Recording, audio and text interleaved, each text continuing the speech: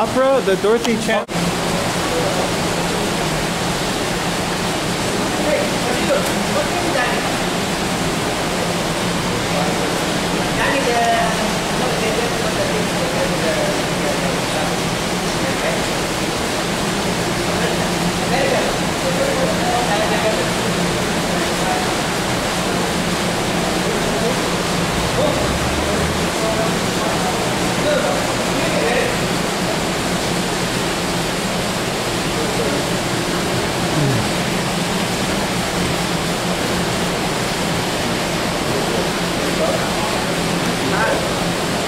Yeah.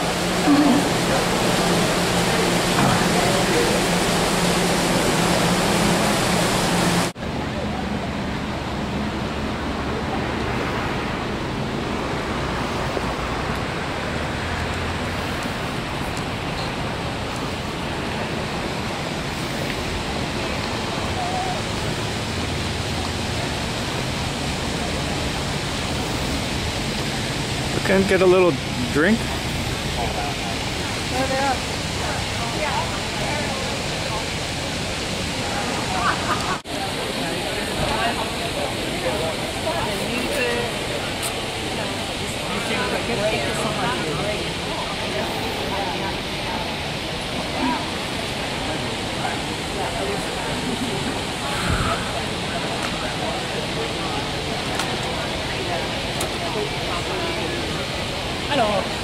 Want to just get a Sprite? No, I'm fine. Oh, Anything else for you?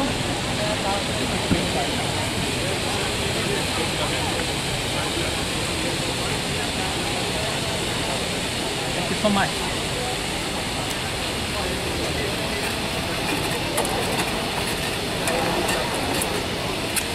go ahead.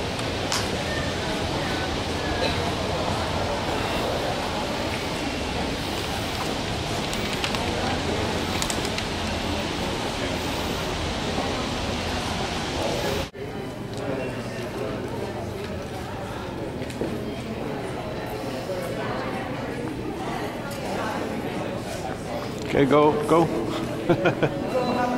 go, go, go.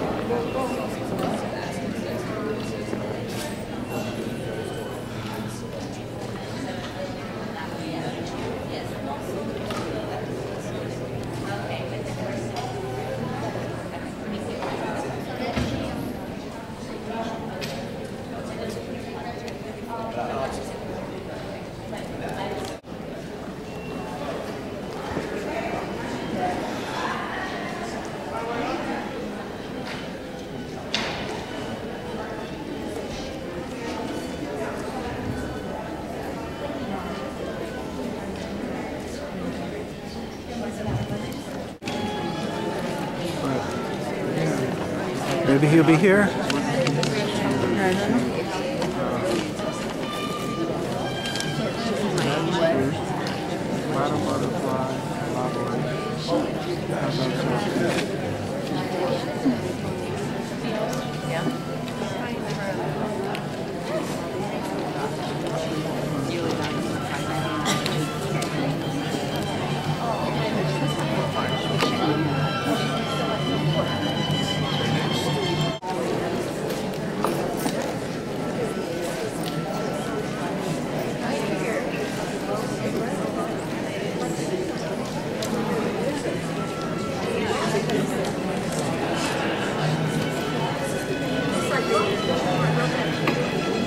After the show, we'll have to go out there by the other building where the Ahmanson, mm. because that's where we went before. Remember?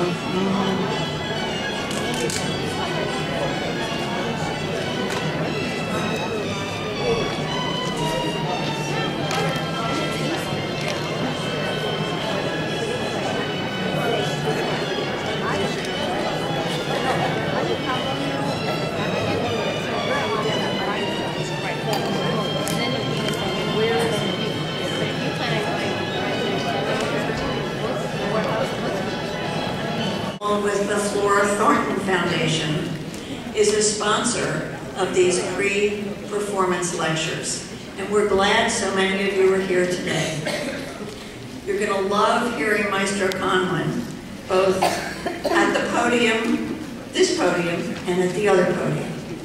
It's going to be a terrific opera, so we're really glad you're here.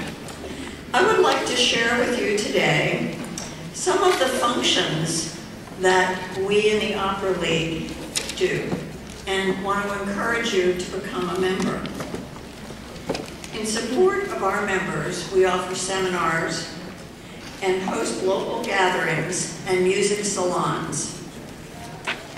We provide a sneak preview at the beginning of the new season and offer ways to help our volunteers go behind the scenes and see what really happens in putting an opera together.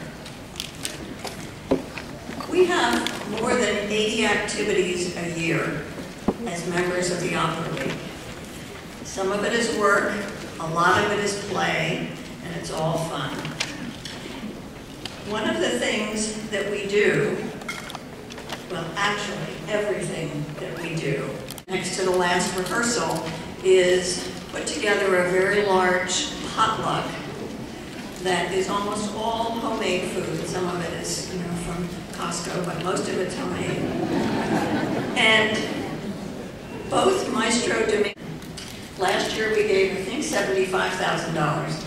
Um, that's a big deal and helps them run programs that introduce young people to opera and bring them here for rehearsals. It's just a wonderful thing, and we love to support that operation. So, during intermission or on your way out, you must need to buy a gift for somebody. We have a terrific cookbook that has recipes from different opera stars and people that you would know, and that's on sale. I mean, really on sale. So it's a great thing to take to a dinner party instead of a box of candy or a bottle of wine. Which is Lady Macbeth of Mtsensk at the Metropolitan Opera. He's conducting, uh, his conducting was described by the New York Times as inspired, incisive, and the production was included in the New York Classical Review's Top 10 Performances of 2014. Opera News characterized it as a performance that must rank high among the company's triumphs of the last 40 years.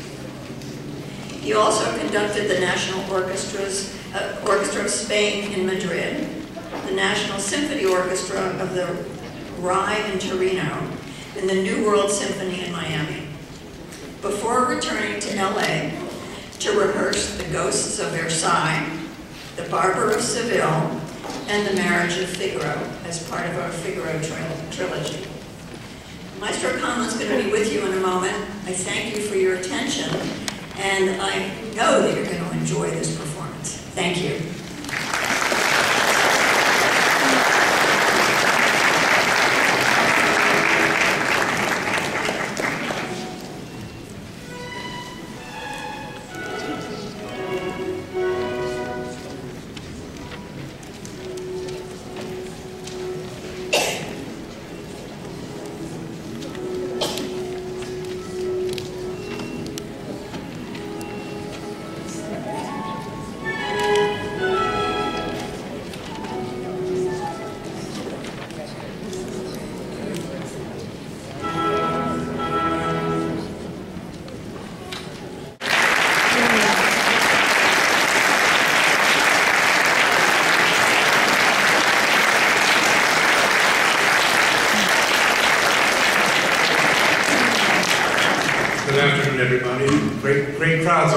Happy to see you uh, very much. How many people here uh, have uh, never seen the Barber Seville? I hope there's some of you.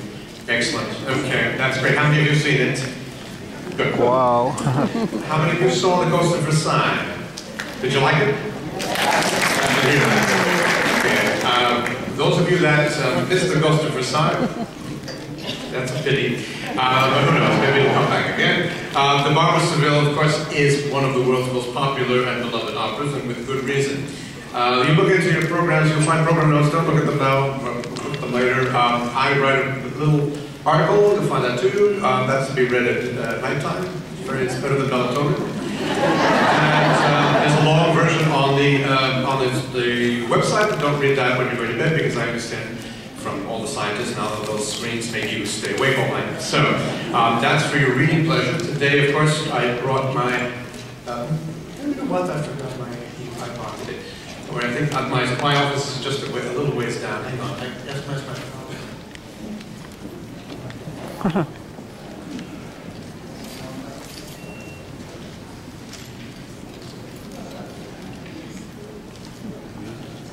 Quattro Sister Figaro, I'm upstairs. Sì, sicuro. Now, just go in the direction of the restrooms to the bar, and then you'll see a door going backstage, which, you, which is open. This is the only theater where you can actually get in from the outside, but we need a key to get out. That's why you should not go backstage, unless you want to stay there. You should see some of these on your seats, and this is a, a, a family tree of the Barber of Seville and the of Figaro. Take that home and, and enjoy it. Uh, and I brought you uh, some family trees up here. They're a little hard to see, but you'll be able to follow them um, along there. Uh, I remember Turn it over. This is the Marriage of Figaro. uh, to start with, uh, the reason I ask you if there's some people seeing it for the first time is that this opera has a very special meaning to me, and I'll tell you a little personal story, um, which is irrelevant to the rest of what I'm going to say, but it's just sort of meaningful to me. Um, the Barber Seville was the second opera I saw. I was 11 years old, and it was the opera that made me fall in love with, or make, actually made me realize that I was in love with classical music. And consequently, I asked for piano lessons because I wanted to learn to play the Barber Seville at, the piano. I did not have any ambitions uh, to play Rachmaninoff piano concerti, didn't even know what they were. I wanted to play the Barber Seville piano.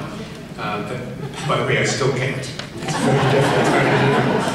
Um, but one thing led to another, and- but the Barber of Seville is the um, is was probably the uh, the moment that everything in my mind exploded, and I fell in love, and I've never fallen out of love. Of course, it led on to Beethoven and Brahms, and um, uh, in fact, the in, the um, summer, I'm going to tell you my age now, you know it anyway, 1962, summer of 1962, um, I had a wonderful, wonderful piano teacher whose name was Dorothy Mesney, and uh, it was just school had just ended, and I was, uh, uh, for various reasons, uh, sort of moaning and groaning about the summer, and she said, what do you want to do? She gave me some hot chocolate, and I was just so sad. And she said, what do you want to do? I said, I want to be in an opera. She said, well, oh, that's a wonderful idea. Now, somebody said, well, that's a stupid idea. Go play tennis. That would have been the end of it. But she, because she was such a wonderful, creative person, she said, well, that's a great idea. How would you do that? And I said, well, you know, I have some costumes in the attic. And she said, well, who's going to be in it? Oh, I said, I'll browbeat my friends. And I did. And we made this little cast, and we, and we had no place to, to perform it. So I said, she said, where are you going to perform it? I said, I don't know. She said, well, why don't you use my garage? I said, that's a great idea. So we used the garage. We put people out in the, in the uh, there are pictures to prove this. I'm not digging them out. Uh, we used the driveway, and we, we earned, we uh, rose, uh, we raised $75 for a local ambulance corps. Um, and I'm thrilled to see uh, Jonathan Mesney's two daughters sitting right back there. Will you stand up and take a bow to right there? There they are. There they are. That's Barbara Patty, whom I've known since uh, childhood. Very thrilled to see you. Okay, that's not the end of my story. So, okay, I'm going to conduct the Barbara Seville more than anything else. I decided what to a conductor, and in 1973, I'm now 23 years old. My fir- one of my first gigs, Washington Opera, I get to the Barbara Seville, seven performances in five days, one cast in English, one cast in Italian. The Rosina and the Italian cast was the young and yet not very well known Flicka von Stade. And in the English cast, the, uh, was the young and not very well known Maria Ewing. And there we all were. I played the recitatives at the harpsichord, happy as a clam. And I said, oh, this is great. I'm going to be able to conduct this for the rest of my life. And guess what? I never conducted it again until last week. So 40 years later, I'm reunited with the work that Wow. made me love classical music, and I'm having a great time, and I hope that if you're seeing it for the first time, that something similar will happen to you. Now, you know we are in the midst, uh, in the midst of uh, something called Figaro Unbound. Um, it's sort of an idea that Figaro, the character, is a dynamic energy. My whole spiel about that. But uh, he is, was uh, probably the leading uh, playwright in uh, 18th century France. Uh, Um, and he did it all with these three plays. In fact, he did it with two plays, The Barber Seville and The Marriage of Figaro.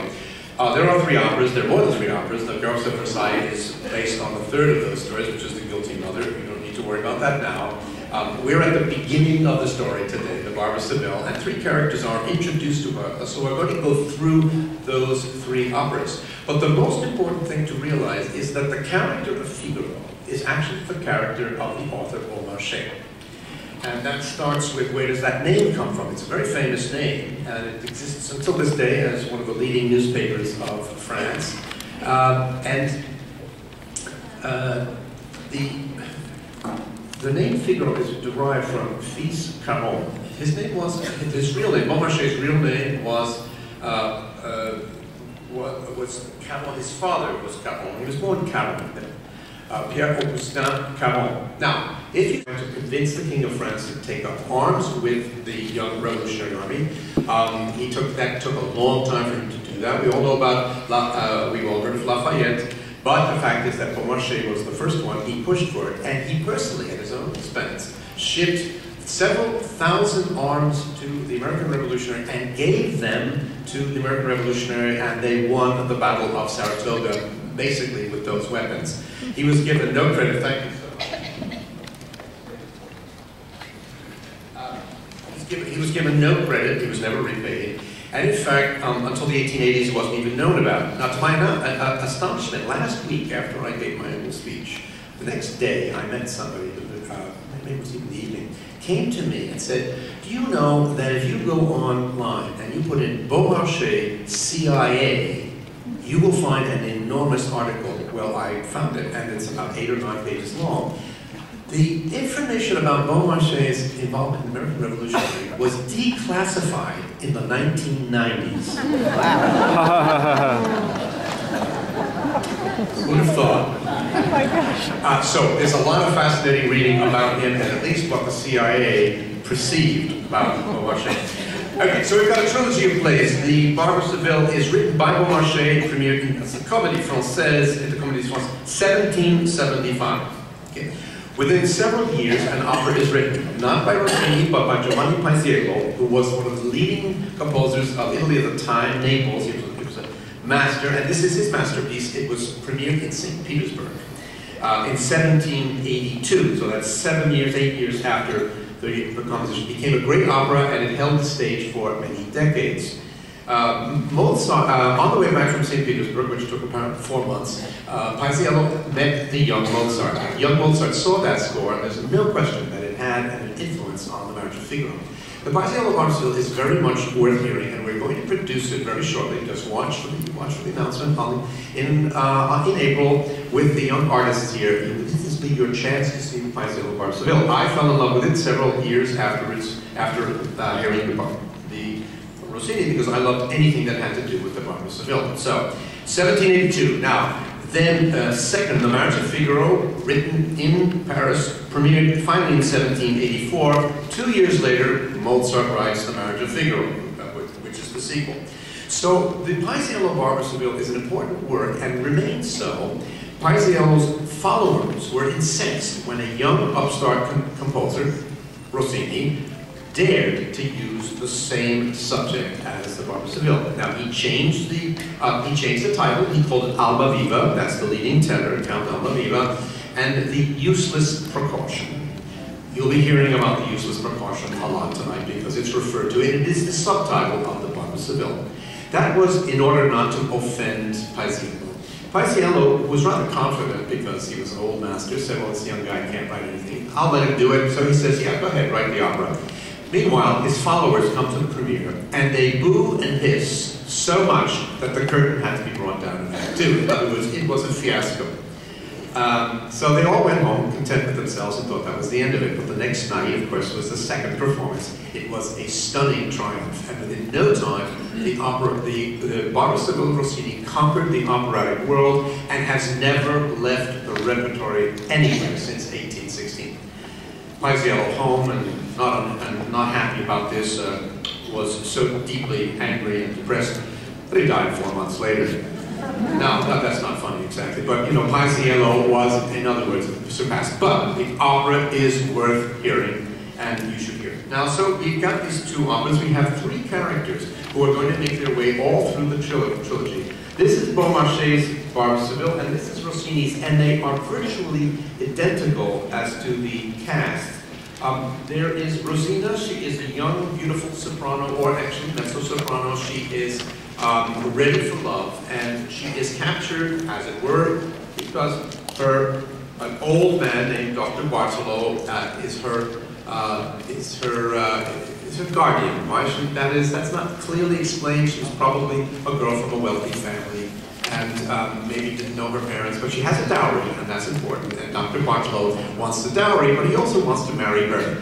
He is an unsuitable uh, partner, I would say, for a beautiful young girl, maybe 18 years old. He's old, he's grumpy, he's ugly. Um, uh, what else can I say about him? He's pompous, he's nasty, uh, but we sort of love him anyway because you know those sort of people that complain all the time. They're, they're, they're pretty amusing on the stage, if not off. So that's the story. He wants to marry her. And the young Count of Almaviva has seen her and fallen in love with her and has followed her to her house in Seville and is to be, we're going to discover him trying to serve a spiritual, intellectual way. Because what he was saying, and you'll see it a little bit in this opera and a lot in the Marriage of Figaro, is that the servant class is, uh, is are the people, they are the salt of the earth. They're the ones who do the work. They're the ones who maintain society, while the aristocrats, um, as, uh, Figaro will say to the count in play, said, why are you so great? Because you took the trouble to be born into a wealthy family.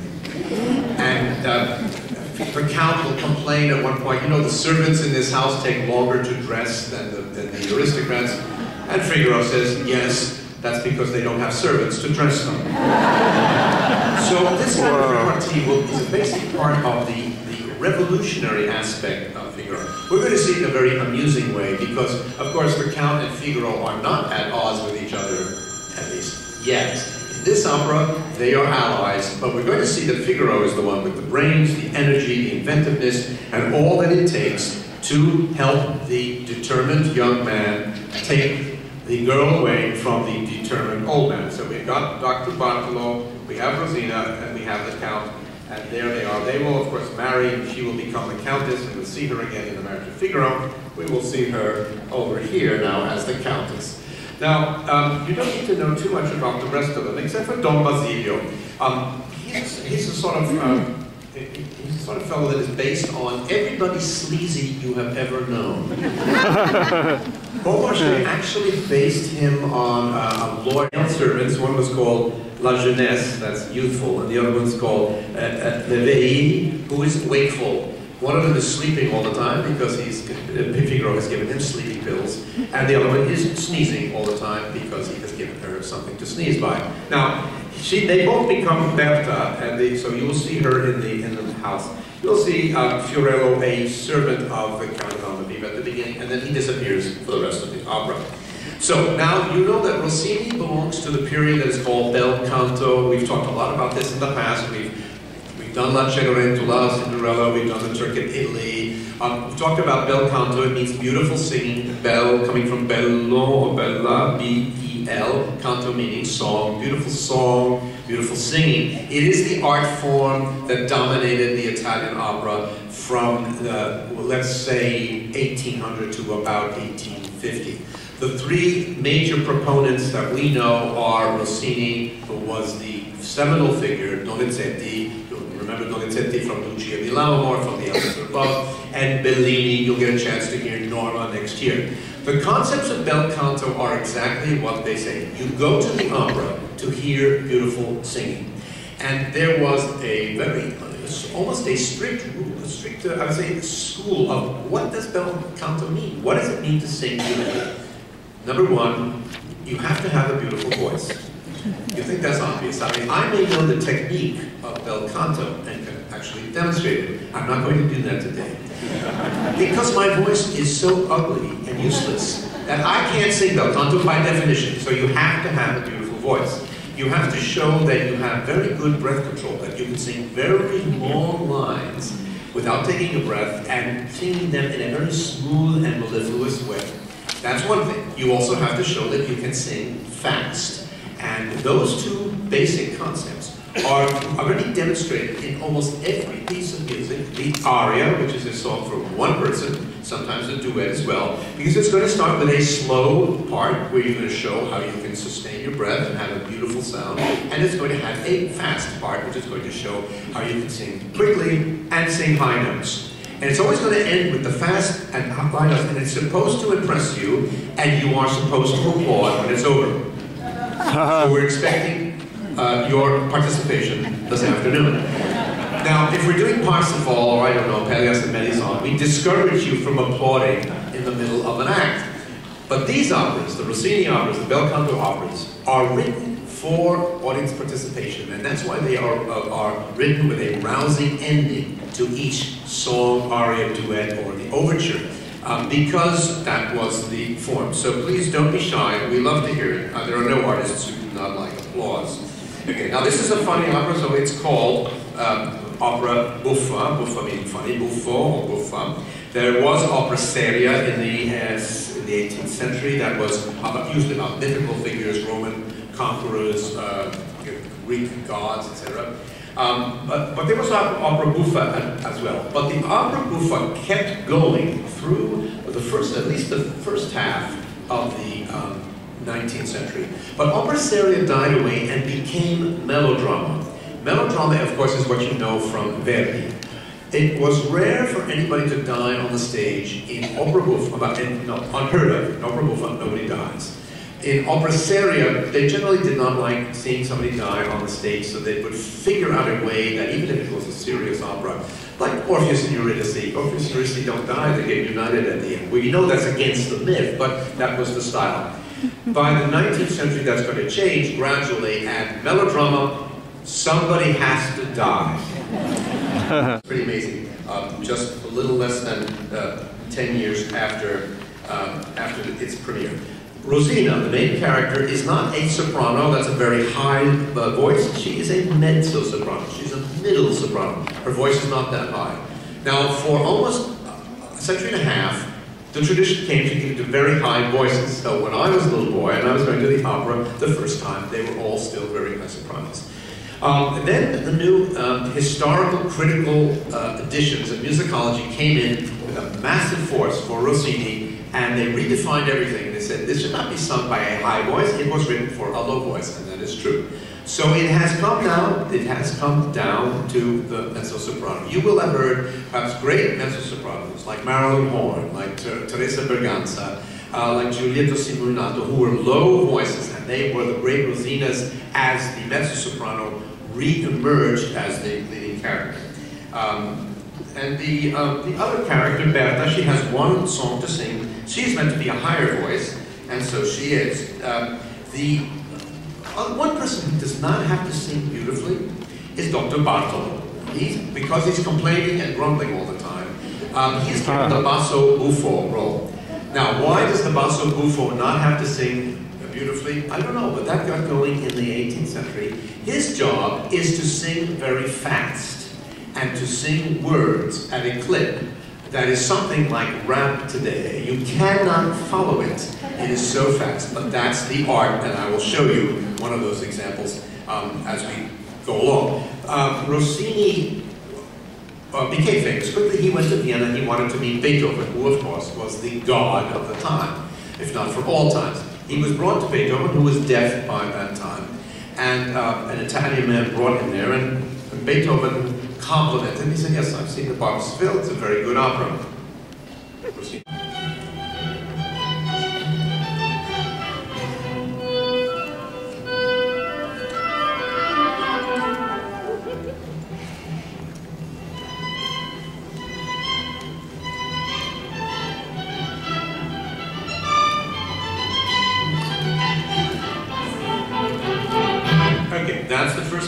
So, uh, as, you, as you know, we have exposition, development, reprise, or recapitulation. So that's a big A, B, A form. Now remember that, ABBA, A, B, A, because you're going to hear it over and over, not just in the overture, but in many of the arias. Now, that is the first part of A, and I told you it had three parts. So now it has a second part.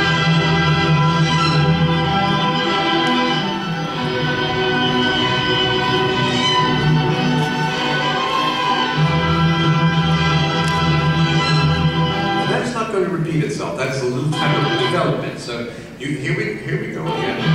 That's the sort of development, and then we get the second theme, which is the lyrical, contrasting theme. Rossini very often gives it to woodwind instruments and the French horn.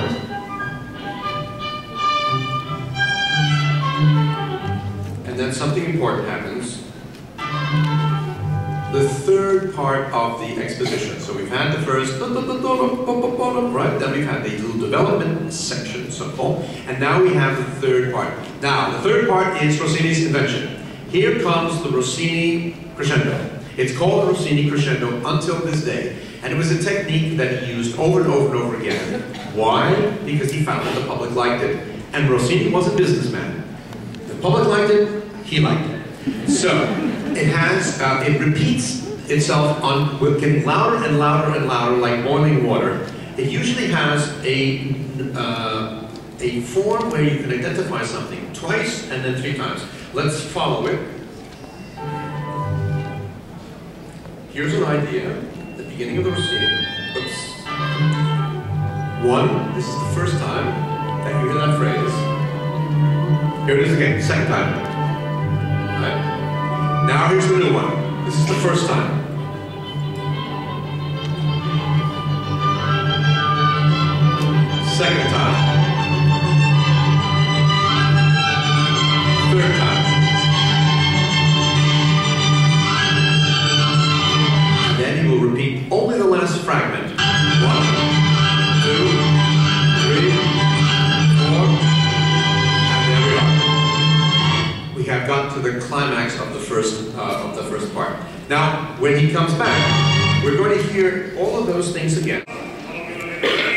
Happen is that the recitative will push the story forward. That's where you follow what's going on. And then you'll have a more static moment where there is a reflection of what. So this something that the, the, the recitative has been described as pulling the trigger of the gun and then pushing everything forward, and then the gun goes off. It's a happy aria, a sad aria, uh, a happy duet, a love duet, a hate duet. You know, there's all sorts of things. The, the uh, difference being that Rossini, unlike anybody else in this opera, actually continues the action without the recitative with the orchestra. It is an action-packed opera. It does not stop. You'll recognize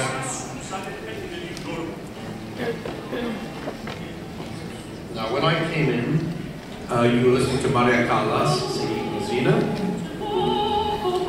When she sing, comes in, Rosina will sing slowly, which she's doing now, and then she will sing fast.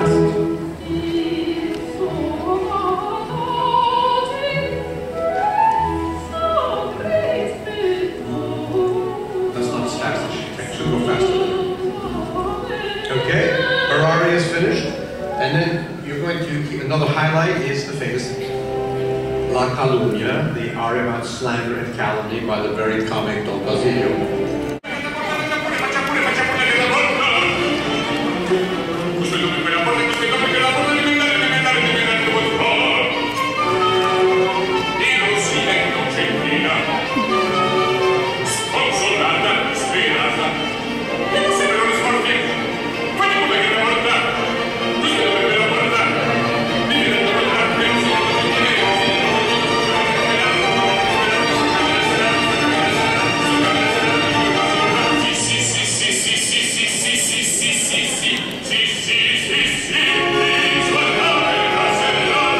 Comes to complaining, Dr. Is a champion.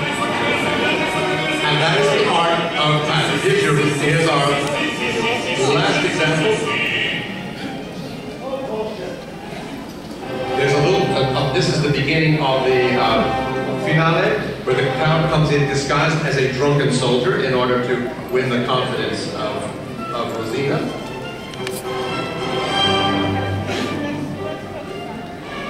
And in the last act, you get another specialty from Rossini. It's the storm. Uh.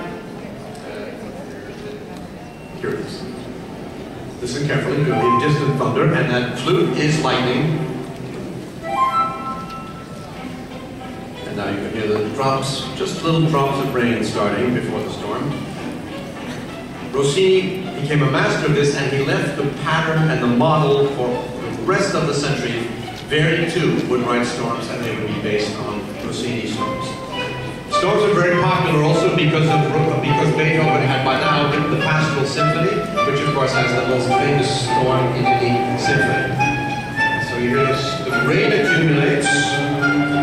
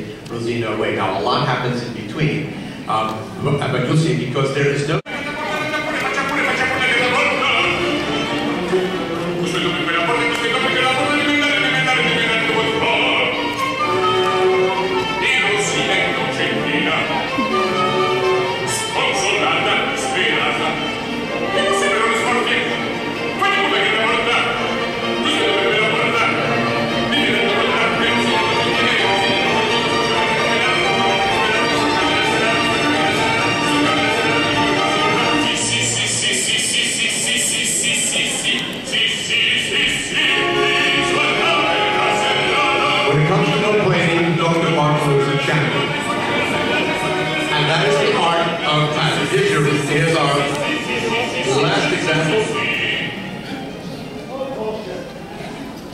There's a little, uh, uh, this is the beginning of the uh, finale, where the count comes in disguised as a drunken soldier in order to win the confidence of, of Rosina.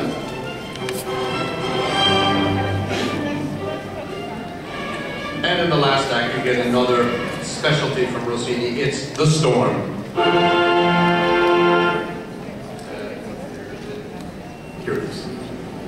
Listen carefully to the distant thunder, and that flute is lightning. And now you can hear the drops, just little drops of rain starting before the storm. Rossini became a master of this, and he left the pattern and the model for the rest of the century Verdi too would write storms and they would be based on Rossini storms. Storms are very popular also because of because Beethoven had by now written the Pastoral Symphony, which of course has the most famous storm in the symphony. So you hear this, the rain accumulates.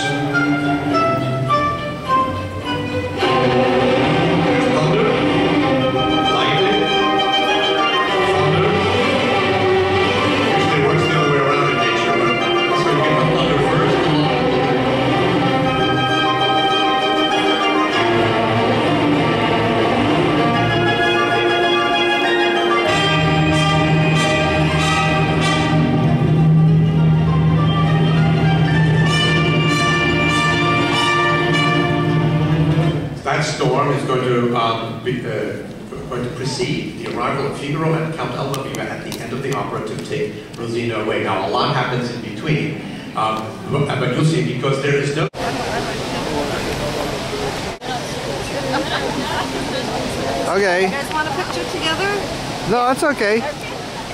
No, we're okay. Oh, okay. Yeah. Hi, Jakey. Hey, honey. Um, Is that it? Yeah, that's it. Let's go over there.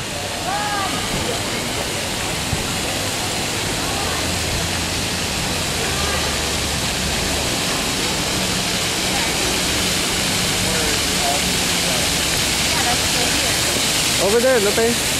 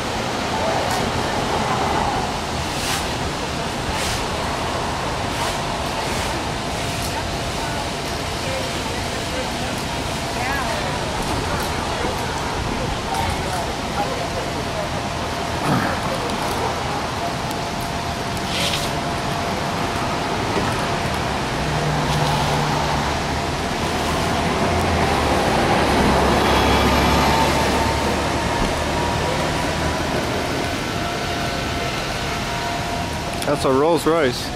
Yeah. That car.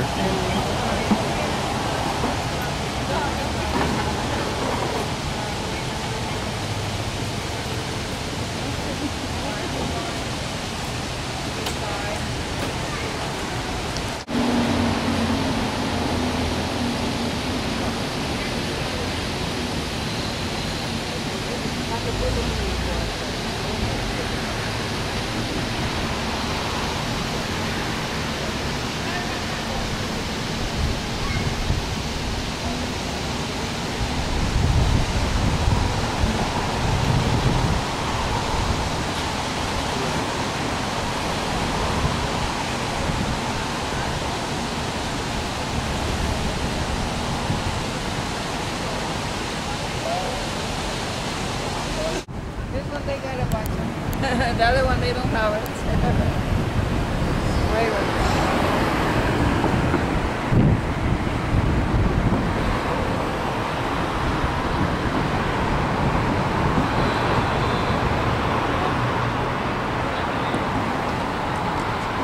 Oh, there's a lot of policemen here. Oh, yeah, yeah, Over there. Over there. That's everywhere.